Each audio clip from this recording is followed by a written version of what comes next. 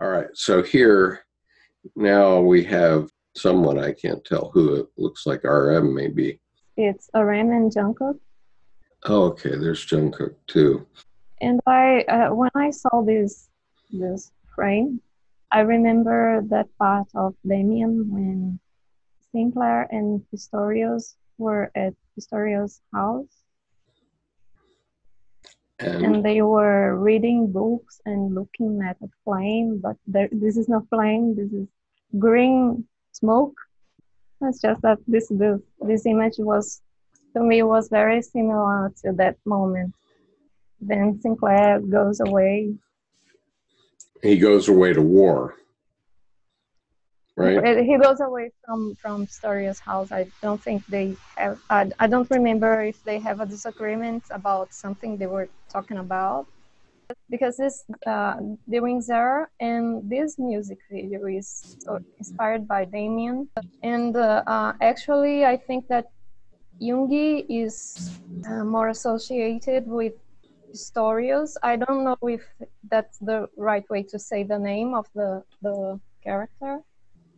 Yeah, I I don't recall offhand. I've read somewhere, I don't remember where, that this uh, uh, Pistorius was uh, like a, a representation of Jung in Demian. Could have been. I don't know. Uh, yeah, could have been. I don't remember the, the where I the source where I read the, this. But that that this is uh, the in the book. This is I think this is a moment where Pistorius tells Sinclair about the collective unconscious. I'm not sure. All disappeared and uh, uh, you. I don't. I, I won't be able to tell it the One of the things I would observe about Demian was that it, it was immediately it's covering a time frame that's immediately pre World War One. yes And so you have the combination of forces going on where these young men are going through their normal growth periods and, and the steps that you go through to become a, a young man. And around them, in Demian and around them, the world is getting ready to explode into a war with poison gas. And Mm, and so this may be a reference to that yes with the green smoke, right? Because Okay. one of these guys, I guess it's, is it, uh, Pistorius is the older man that go, that goes away, right? Ultimately. And In Demian Pistorius is the one that plays organ at the church. who's playing the organist Playing Pistorius is the. Yeah, yeah, yeah, yeah. Right. he Okay. studied I, I think he studied theology, I'm not sure. That's right. But he, he ends up going away and, and going into the army. Young men have been sacrificed to war for millennia, right? And one of the things about growing up is you're going, you know, you're sort of overwhelmed by having been drunk and all these other things that happen when you're growing up and becoming a man. And then all of a sudden oh by the way you're you're off to war. And that actually happened to me too. And my friend i mean it's very it, it's very parallel to my life where uh, my friend who was my roommate in the basic school was killed and i survived and went on and now i'm talking about it so he his spirit is still with us even today as i talk about it but anyway Yes. The military service is something that to to Korean young men right are facing yes, yes. right and they're facing and and it's very real for them because mm-hmm. if our madman president and the madman president of north korea Yeah. cook up a war it's them that's going to be dropped into it unfortunately Yes. that's the scary thing And so this is sort of a collective unconscious realization of something that's coming, which happened in Jung's life too, where he had, I think, three dreams and two visions, or vice versa, where he those were her his first experiences of the collective unconscious because he actually had prefiguration of World War One, something like this. I mean, uh, you know, it's something like imagining the imagining the poison gas of World War One. Well, Jung had that happen to him, and that's what that's covered in the Red Book, which is over my shoulder here. From the collective unconscious, we can have these things, and what Jung said about it was later on in 2014, or I'm sorry, 1914, at the end of July, he was in Aberdeen, Scotland, giving a talk. And he was 39 years old at that time, but he'd had these five dreams and visions. And so he didn't know whether he was going crazy because there were so many crazy dreams and visions. And then when World War One finally broke out on August 1st, he said he was the happiest man in the world because then he knew he wasn't crazy. He, he feared he had schizophrenia. I, I think I have I read this part. Yeah, he knew he knew he wasn't he didn't have schizophrenia because it was actually a prefiguration of something that was actually in the collective unconscious. Oh, yeah. People were all worried about it. Maybe they weren't talking about it, but they were worried about it. So here the guys are still trying to get away. Okay, so here, you want to comment on this? Yes, you see that the the the, the ceiling and the floor is has a, a glass, mm-hmm. and uh, it it's not the first. Uh, yes, I don't know. Maybe the first because this one is before Fake Love, and they have this this camera work of going from one floor to another uh-huh. This has a meaning. And the transparent floor. Okay, so they in this case they went up, so they're going up to a more spiritual realm. Their realm. They're almost sitting down as one might do in meditation, and we see the fellow on the right is uh, putting on a blindfold, if I'm not mistaken. Isn't that what happens next year? Yeah. Yeah. The so, central door there, always yep, there. There's the central door. That would be the central door into life. So here we're in an unconscious space, but you're going blindly, you're getting ready to go blindly into life. And here is an apple, which is a red apple, which is indicative of life in the real world, too. Mm. Okay, so boom, there you are. This one is the the painting, The Fall of Icarus, and Taehyung is about fall. This painting in the wall yes. is the Fall of Icarus, and the one is the lament, the lament for Icarus. Oh, okay, so this is this painting is the Fall of Icarus, and, it, and it's on the wall. Is that right? Yes. This, yes, I think it's. Do you know where this museum is that they're in? No the actual museum. It's quite an impressive place. Okay, and so now we're in a now we're in an unconscious space. Something's going on. Yes, it is purple. Yeah, and we see different aspects of the self going through sometimes very vague like this in very vague and in colors and and then sometimes in actuality here we have the I don't know who this is, but he's J Hope. J Hope, who who is, you know, acting out about maybe about what's depicted in this picture.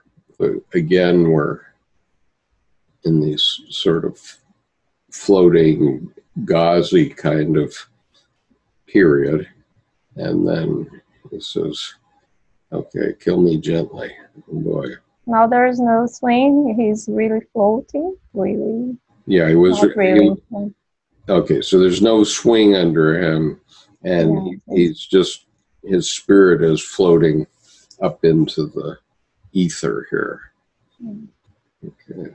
And here, RM, there's a suggestion that he might have been smoking some some good stuff here.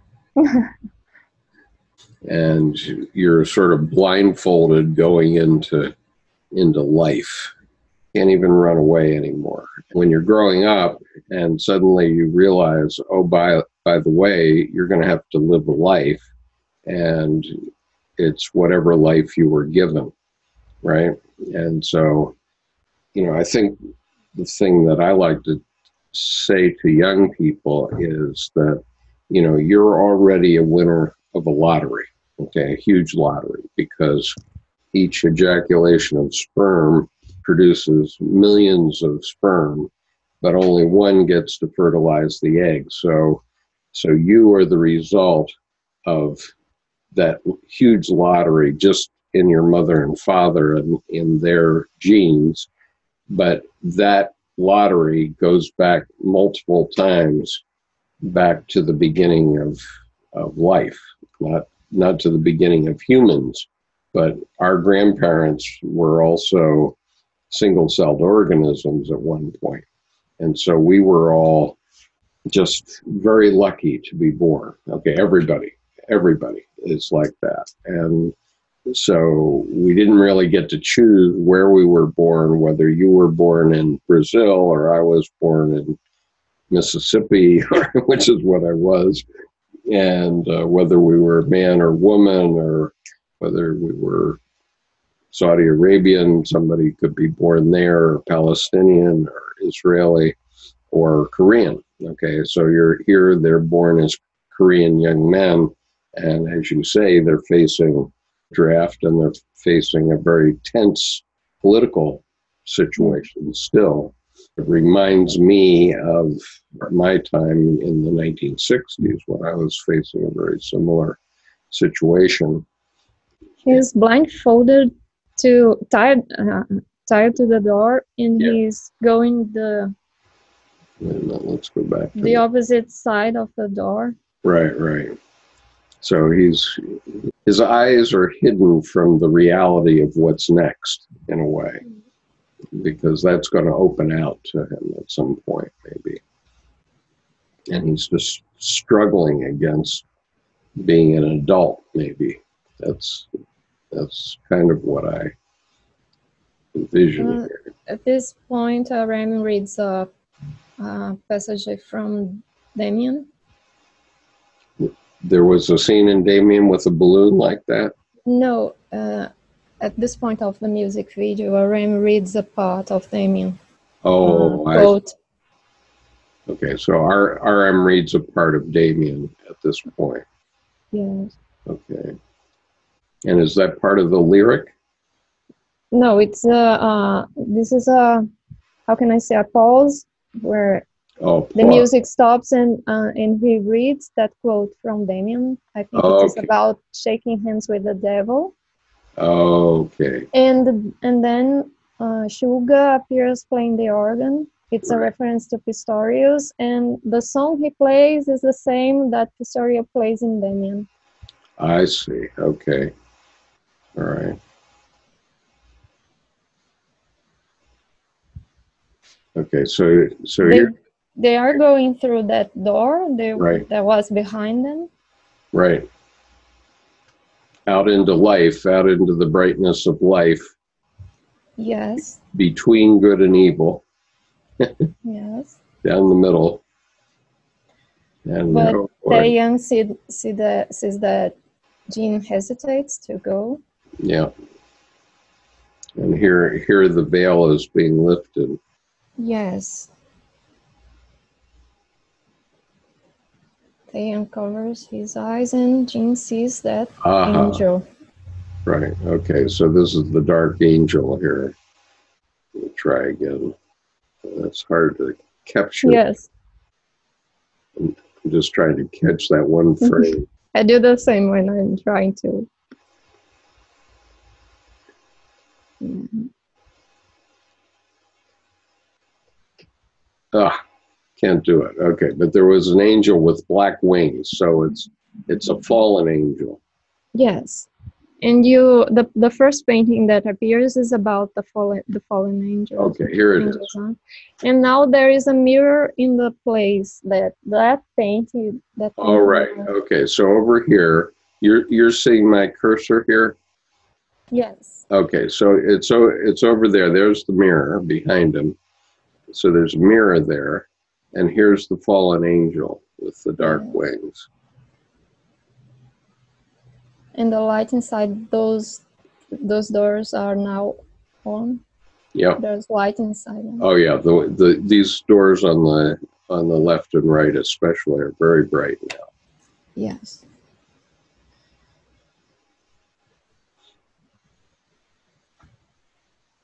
Thinking about being a fallen angel. Yes. That kiss, uh, I remember that last scene from Demian, the last part from Demian, where Demian gives Sinclair the kiss of Eva, his mother. Do you remember? I don't remember. Maybe there is a connection with this. Yeah, there might be a connection with that. Obviously, Oh, obviously when you're kissing a fallen angel and I, I guess every mother in a sense is a fallen angel it's a recognition that you're going to go into life with both good and bad things around you and and you're ready for that. Or most people aren't ready for it but anyway it's coming ready or not. Ready or not, yes. yeah. And I think it's interesting that uh, now the, the there is Taehyung with his wings removed, yes lost. yeah And I think it's interesting that there is a mirror in the place that where there was that painting about the fallen angels. Yes. Uh, okay, and, and This the angel is, this tears of painting. yep, green green tears. Yes.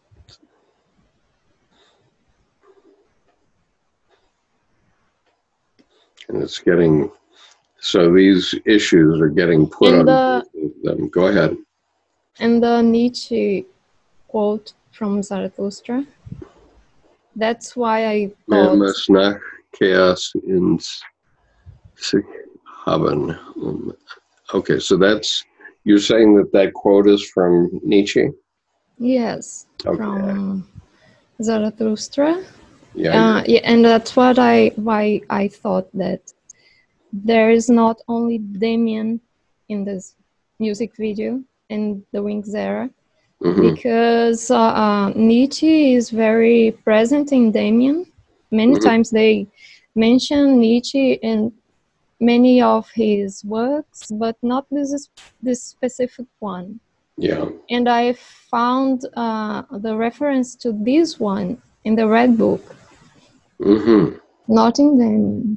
So that's when I saw that it was not only Demian that is about Jung Right. Right. So, and uh, we see and we saw that reference to the red book in the next era the love yourself love yourself era yeah. Uh-huh. Let, let me, I, I just want to uh, see if I can do a translation of that. i think i have the translation Do you have the translation? i found here that it means one must have chaos within oneself to give Yeah. birth to a dancing star Ah, yeah. Okay, that's right. One must have chaos within oneself in order to give birth to a dancing star. That's a very important quote from Nietzsche and from Jung, too. But I, that's definitely a Nietzsche quote, that's for sure. Okay, and then the the angel mother sort of collapses on us. yes and the reflection of the flowers is different color and it's different from what The flowers yeah one is so the green. the outside world the real world which is the one with his back to us is different from the reflected unconscious world, which is the other other one here. Yes. Okay. And finally, his face His face is just cracks instead of a tear. yeah. Wait a minute, let's go back here.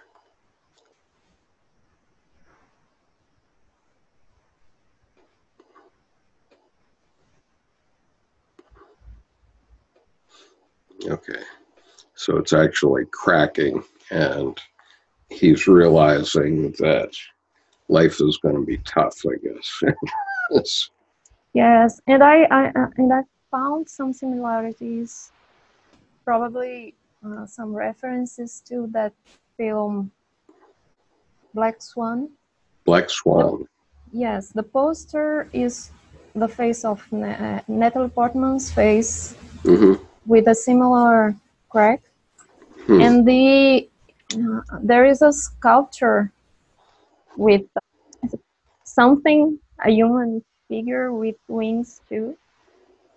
Hmm. I think a long time that I saw that film. The the story told in the film is about uh, someone who's is struggling with mental health, hmm the pressure she is, and Sure. Yeah, we all struggle with mental health, obviously. Now, let me just see. I don't know. Do you feel like we've done anything here? I'm, I'm just curious. yes, I do. I'm just uh, I'm just worried if I was able to express myself in English in a way that someone can understand anything. Oh, I think they can. I, I definitely can. Here are some notes that I took. I'm not sure. You know, obviously, I thought the two doors was an important reference because it's it's a reference to choices of good and evil, for example, mm-hmm. and, but also choices between masculine and feminine. It was interesting that the there were female hands that came in to cover his eyes, wasn't it? In that, I don't know. Okay. Maybe other hints. I don't know. There was something here about it was pointing to the index finger as as the right hand pointing to the index finger, the left hand pointing to a wholeness. Let me share again here so that you can see, because maybe I can, maybe you would have some comment on this. So here it is again, and so somewhere in here, there's their hands are come up. Okay, so here we have a right hand is pointing with its index finger on to the lapis. Okay, so so this lapis is a reference to uh, really depth the the the depth part of yourself. It's also the divine child. Okay, Mhm. So that that's one thing. And then on the other hand, there's another hand, probably from another person, but here is another ring that's a mandala, and it's Mhm. so it's an image of wholeness. So and also just the five hands together would be an image of wholeness, right? Mhm. Yeah, yeah, just it's a kind of mandala just with the, all the different hands in there. So here they're pointing to alchemy, which is, uh, in fact, both of them are kind of pointing to alchemy, but the lapis is really the lapis philosophorum, which is the deepest part of the unconscious. And so that's indicated by this, and then wholeness with the left hand, which would come from the right brain. Okay, so that's the other point. So the right hand comes from the left brain, okay, which means from rationality. And so, so the rational part is pointing to making something very hard and very rational. The left hand comes from the right brain, is operated by the right brain. And so the right brain is always pointing, it's irrational and it's always pointing toward wholeness. So it's trying to fill in the blanks. And so this is one of the issues that I get into with uh, with the religious guys who want to keep everything in the logos because the logos, if it's all rational, then it's very hard, but it's not necessarily whole. And what happens with the irrational is it fills in the parts of the logos that are incomplete. And, you know, I really saw that uh, this week. I was hearing these uh, American prelates or theologians talk about the logos, and they're specifically talking about the book of John and chapter one of the book of Job, or I'm sorry, the book of John, chapter one of the book of John, John, in which in verse one it says, In the beginning was the Word, and the Word was with God, and the Word was God. Okay, so that's where the logos comes from because logos means word. But then uh, they have simply ignored everything that comes after, which is they've ignored life because in the third verse it says, All things came to be through him, and without him nothing came to be. What came to be through him was life. Okay, and that's the that's the irrational side. And this life was the light of the human race. Okay, and so when when you say everything is about the word and this very solid stone of an idea, it doesn't put, let any life in. And so, so this passage in the book of John from uh, verse 1 to verse 13 really talks about putting life into the word. in the beginning was the word, but the word wasn't the only thing. Okay, so that's my little homily. But I was referring to the devil angel behind the doors and uh, the bird and the devil's wings, which we talked about, bittersweet, which you and I were talking in the advanced group about about bitter and sweet and, and salt, right? And yeah. and so when we have in life we need salt for everything in life. We can't live without salt. And and so when something bitter happens, which again refers back to this little bit about pain that I read earlier, when something bitter happens and painful happens, it brings more consciousness, which brings more wisdom. Okay, so there, there's this scene, and, and what it's exemplifying is the duality, the light and the dark. And and it even says, and I can't even feel the pain anymore because there's so much pain involved in coming to consciousness, right? At 225, they're talking about more, more, more, which to me is also a, re- a reference to money, money, money. In fact, they, they're actually singing money, money, money, although the uh, closed captioning there says more, more, more, more, more. No, it's more in Korean. It's more in Korean? Yes. Okay. But the way they're so the words the word money yes that they're singing I think the, they're saying it sounds like money, money, money, money, right? Yes, there are so many American, so many. I think two American songs that have this this line, right, referring to money, right, and uh, it and so what I was thinking of was that it was uh, a reference to uh, materialism. And then uh, I, I had pulled out before the red sky and the arrow thing that we talked about. And hold tight so I can't come to my senses. This is about growing up.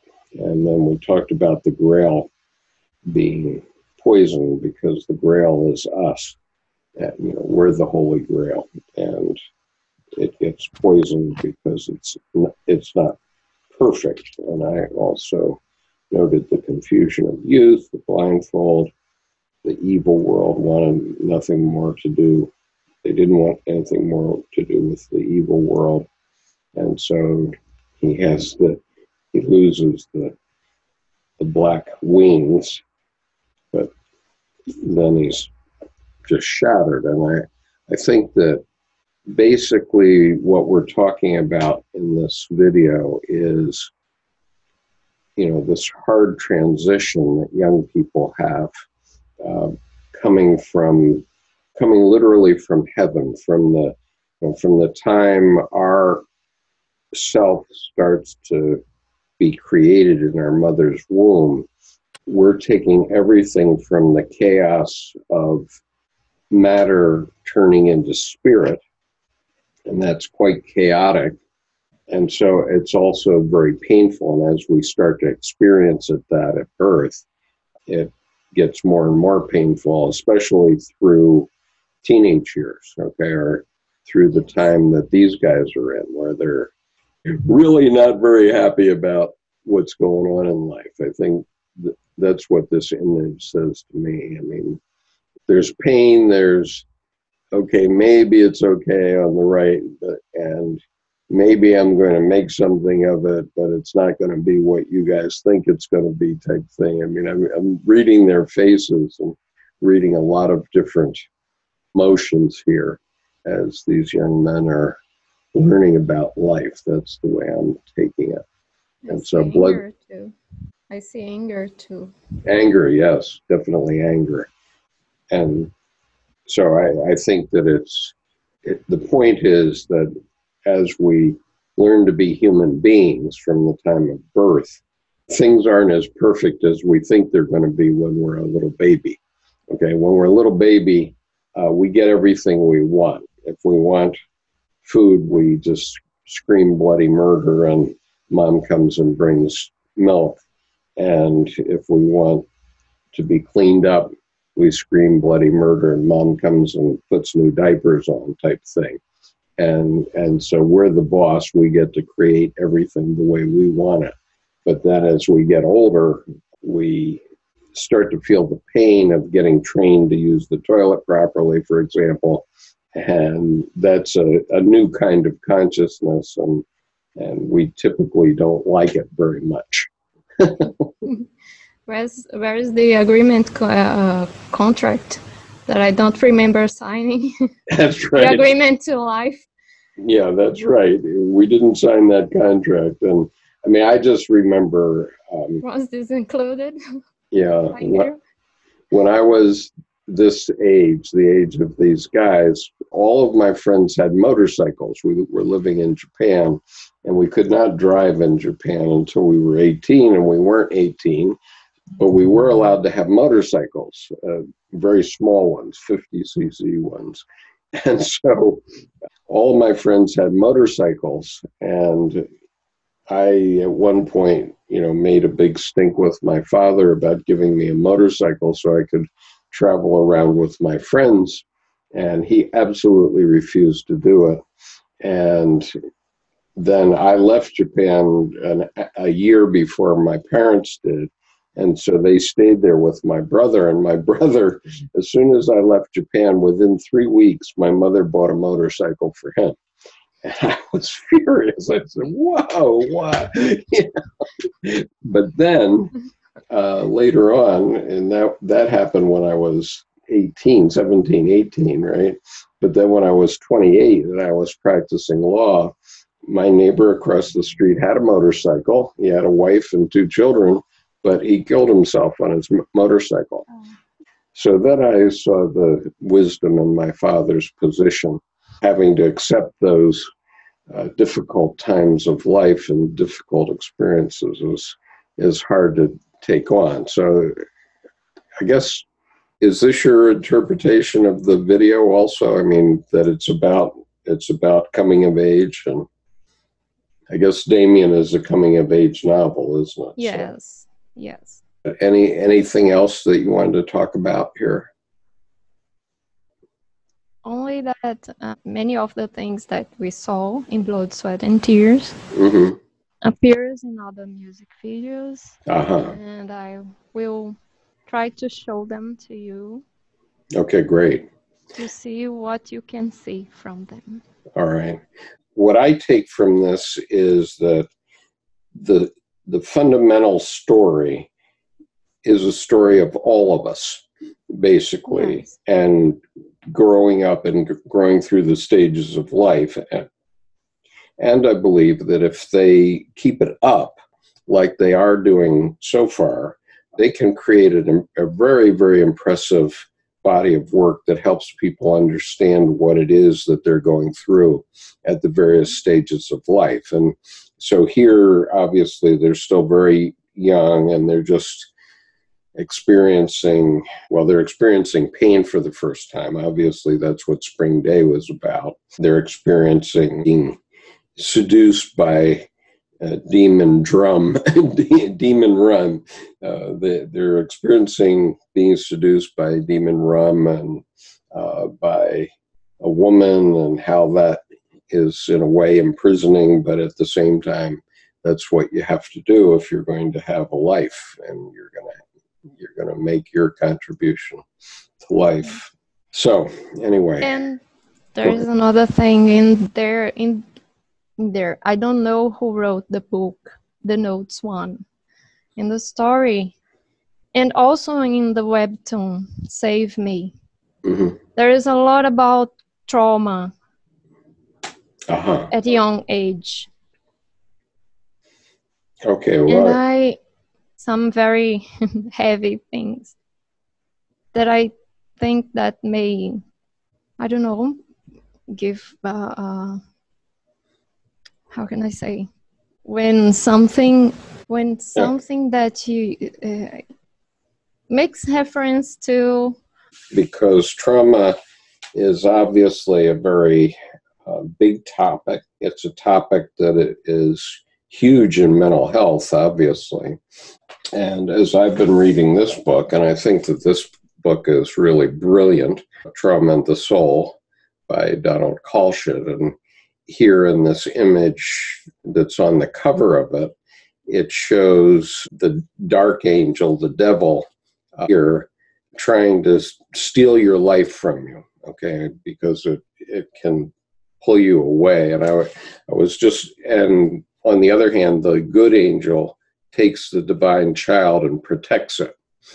So it's very interesting because then that, that same author has done a couple videos where he is uh, he's taken other fairy tales and shown how they represent the the dark angel and the light angel and how the we have a self curing system or a self protection system that's in our unconscious that's this light angel that tries to protect us but it's also in a way evil. It can be it, it can be both good and bad. So that it's very interesting topic. It's worth finding some of those videos on youtube. There Um, is a lot of in the BTS material on trauma. Yeah, yeah. Okay. So I'm I'm glad I'm reading it because actually I'm reading realizing how much trauma I I've actually had. It you know didn't really I didn't really think of it consciously as trauma at the time, but as I look back on it and look at what he's saying about mm. trauma, then I say, oh yeah, that is pretty traumatic. So let's talk again.